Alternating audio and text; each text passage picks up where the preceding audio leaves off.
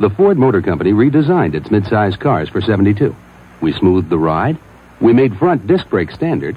It's quiet because it's a Ford. And Motor Trend magazine named the Grand Torino Sedan of the Year. Throughout its history, the Ford Motor Company has produced many spectacular and brilliant cars. Some of those vehicles are still on the road today, such as the best selling Ford F 150. This also includes the Ford Mustang, the car that started a bit of a muscle car revolution. But many of Ford's automobiles are also no longer with us. One of those is the Ford Gran Torino.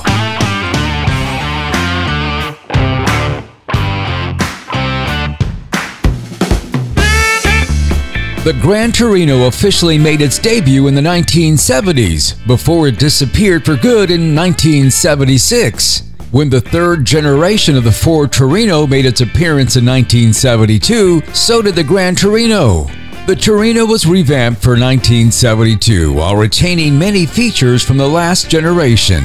The 1972 Torino style heavily included Coke bottle styling and highlighted the long hood short deck appearance. Three new models, the Torino, Grand Torino, and Grand Torino Sports, were added to the Torino lineup.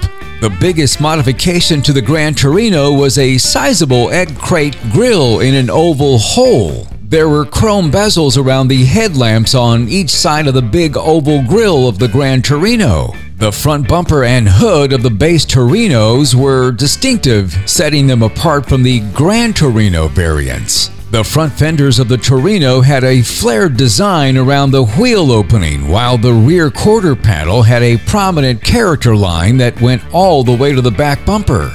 Rectangular lights with pointed ends were recessed within a full width rear bumper. All of the interiors were brand new and the instrument panel was upgraded and made largely of ABS plastic. A speedometer, fuel gauge, temperature gauge, and many warning lights were all housed in the five round pods of the typical instrument cluster. A vent for the direct air ventilation system was located in the leftmost pod. The base engine was the 250 cubic inch, uh, or 4.1 liter for those of you outside the US. It was an inline six in all models except the Gran Torino Squire station wagon and the Gran Torino Sport, which used the 302 small block V8. The engine options included the 302, a 351 Windsor or Cleveland, a 351 Cobra Jet, a 400, and a 429.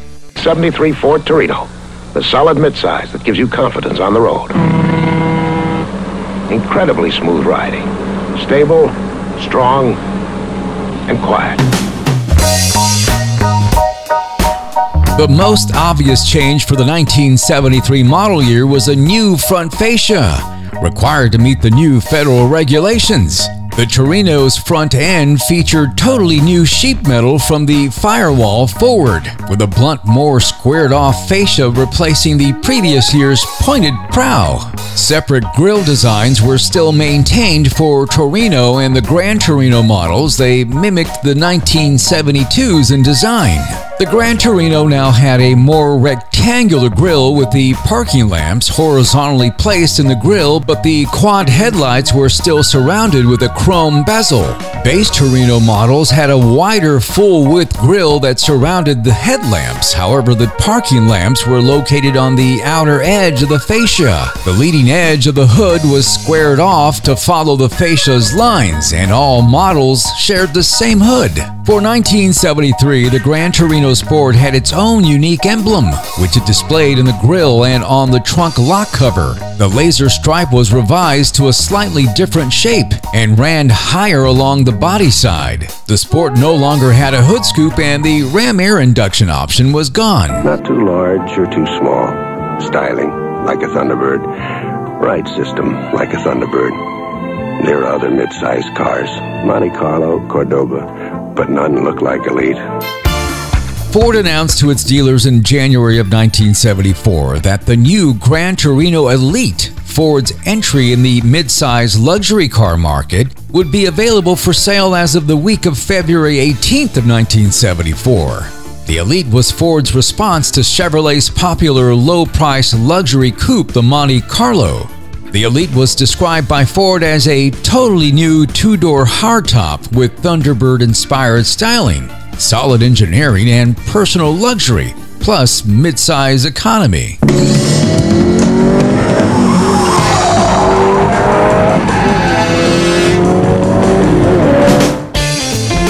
1975 through 1976, Grand Torinos were used in the popular Spelling Goldberg Productions TV series Starsky and Hutch. The producers needed a flashy specialty car for the main characters to drive. Producers had originally wanted a Camaro, but since Ford was the least supplier for on screen cars through their studio TV car loan program, Eventually, it was decided by the producers that a bright red 1975 Gran Torino two door would be the vehicle of choice. To make the Torino less mundane, a large white vector stripe was added. Aluminum 5 slot mag wheels and larger rear tires replaced the stock wheels and tires, and air shocks were added to give the car an aggressive brake. This Torino's got spirit, looks, and it's built solid. What more could you want? For the 1975 model year, the Ford Torino received a number of minor improvements, but was for the most part unchanged. The model lineup received only one change the Grand Torino Elite. It was dropped. The Elite became an independent model and marketed simply as the Ford Elite. All Torinos featured solid state ignition systems for 1975, which improved starting, performance, and fuel economy while reducing maintenance costs.